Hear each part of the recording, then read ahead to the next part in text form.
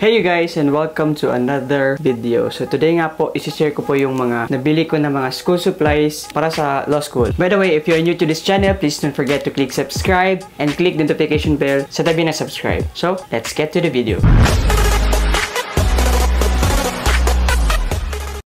And yun na nga po. So today nga po, isi-share ko sa inyo yung mga nabili ko na mga law school supplies for my law school which will happen the soonest. So may pasok na kami sa June 13, 2019. So siguro by the time na napapanood nyo to, eh may pasok na kami. Okay? So let's start sa pag-haul ng mga nabili ko sa school supplies. By the way, akapon, so we went to uh, National Bookstore to buy some school supplies. Kasama ko si Francis, yung kaklase ko sa law school. So we decided for the supplies, for the things that I think kailangan for law school. So, let's start sa pagkuhol. So actually, may nabili ako sa National Bookstore and the other na parang school supply department sa sa city because nung pumunta kami ng National Bookstore, may mga stuff doon na wala. Parang nung pumunta kami, parang we felt na parang disappointed because there were some like areas there sa National Bookstore na parang kulang, parang kailangan ng replenishment. But by the time na andun kami, eh wala na, parang paubos na lahat. Sa bagay, na-realize ko din na parang it's normal because like now is pasukan, like opening of classes and siguro medyo naubos na yung mga supplies because because may mga nauna na, na nakabili especially for elementary or sa mga high school, sa mga colleges na bumibili ng mga supplies din for them. So, yun. Now, let's start with the things that I bought sa National Bookstore.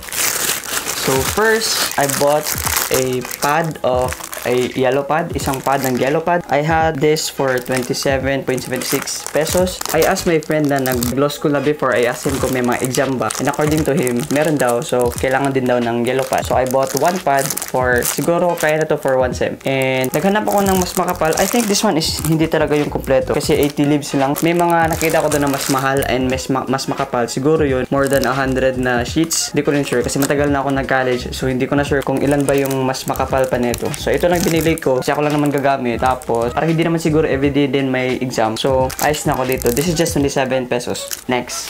So, I bought this one. This is, I was torn between buying normal notebook tsaka yung binder. Di ba sa college ginagamit usually is binder. Yung binder is yung mas makapal na notebook tapos marami na siyang maliit na notebook inside ng malaking notebook. So, that's binder. Usually, binder is used by college students. So, now, nung pumunta kami sa National Bookstore, naghanap kami ng mas maganda na quality. This one is naka-spiral sa na may ganito. Yung plano ko sana is one subject, isang notebook. But, sabi ng kaibigan ko na mas maganda daw pag ganito, yung spiral. Yung point naman niya is ganito ha. May sinabi kasi siya sa akin na ano. Buksan natin. This one is 6 subject notebook from National Bookstore. This is exclusively av available sa National Bookstore lang. This one costs, I think this is 199 or 190 pesos. And dito, para na siyang binder pero mas maganda na klase ng binder. Naka-plastic, may garter na siya dito for lock hindi siya ma-open.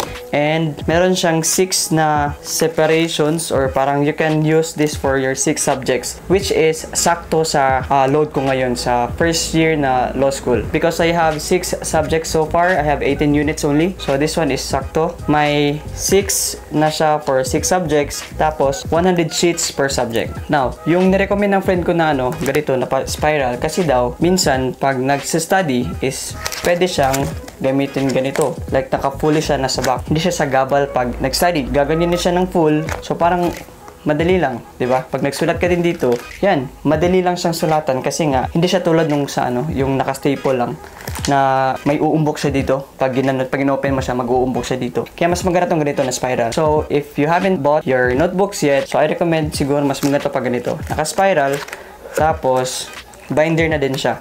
And also, good thing about spiral na notebook is pag nagkamali ka, tas medyo OC ka, pwede mo siyang i-tear agad ng ganun. Mas madali, tapos mas malinis. Yun, so this one will be my notebook for the entire SEM for the next months. So, my binder. Next, I also bought this one. Uh, this one is correction tape. This one is correction tape. I bought this one for, naka-sale siya actually. This one, original price is 112 pesos, but this one, nabili ko lang for 67.50. So, mas nakamura siya pag may, naisip ko lang, pag may, pag nagkamali ko sa pagsulat o sa pag-underline ng mga things sa book, siguro I can use this one. But according to my friend, hindi lahat ng mga professors, mga instructors sa law school ay nag-aalaw ng ganito. So, you have to ask pa the instructor if you are going to use correction tape or correction liquid. And also, mas pinili ko yung tape kasi pag liquid kasi, mas matagal mo siyang hintayin para matuyo. But this one, pag ginamit mo siyang ganun, mas mabilis, mas matutuyo siya agad. Then, I also bought highlighters. I bought three colors ng highlighters. This one is parang pastel na yellow, tapos luminous na green, tapos luminous na orange. I bought this one because according to my friends, kailangan daw siya sa law school. Because, importante pag may mga points dun sa book na ma gusto mong i-take note, eh, i-highlight mo lang siyang ganun, tapos, yun na. And, mas maganda daw pag mas, mas maraming colors because one color will represent one topic. For example, this one is siguro uh, provision or parang ganun. So, when we were, we, we went to another na school supplies na department or department store, we found out na may mas mura pala na Stabilo. This one is Stabilo. May 4 sets kasi siya, tas 130 lang. This one, isang ganito is, this one is 36. The pastel colored na Stabilo is 36. And this one, the normal color is only 34.75. Pag yung apat is, nasa sa mga 100, 100, yeah, something. Pero mas nakakamura ka dun pag ano, kasi apat na yun. This one is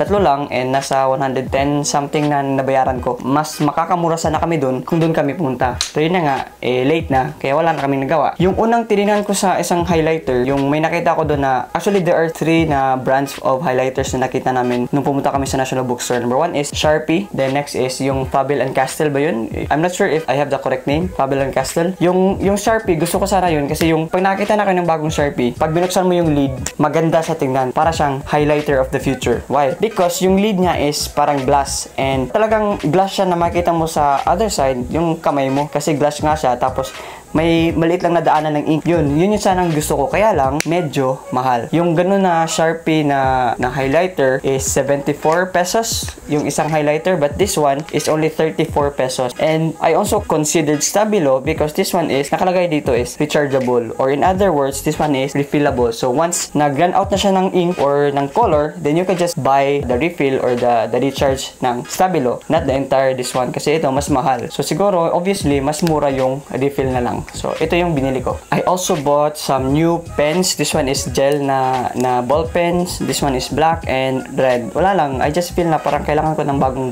ball pen. Ito for siguro for note taking. Tapos ito naman po pag highlight ng medyo hindi naman masyadong ano, yung konti lang na kailangan ng highlight. So, I bought red. And also, na-realize ko din na pwede ko rin siya magamit sa work. Yung red tsaka yung black. Yung last ko nabili sa National Bookstore is this one, the Pilot Whiteboard Marker Refill. Refill na lang siya because I have 5 na markers, white whiteboard markers na luma. Tapos yung binibili ko na lang is yung refill para hindi siya masyadong mahal. So ito, ginagamit ko siya usually pag may kailangan akong isulat, siguro sa sa may glass or sa may sa mga whiteboard na ano kailangan ng medyo mabilis lang na ano ba. So I bought some refills for my supply. Uh, nala ko this one is 150 pesos sa National Bookstore. Next, the supplies that I bought sa another na local na school supplies department.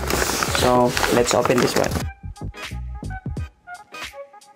So, yung unang nabili ko dun sa may local na school supplies department is this one. Folders na may garter. Hindi ko alam kung anong, anong term ng folder dito. So, I bought 5 because I just thought that kailangan ko siya pag may mga photocopies na kailangan ilagay dito para hindi siya mawala. At tapos, naka-organize pag may mga subjects na, for example, sa criminal law. I have criminal law 1 now for my law school. So, pag may mga photocopies na kailangan i-photocopy, tsaka kailangan kong i-save, tsaka i-file, so dito ko na nilalagay. Every subject may isang folder. Parang kailangan ko pa ng isa kasi lima lang na nabili ko and I have 6 subjects for this SEB. One of this one costs uh, 11 peso. This one is 55 lahat.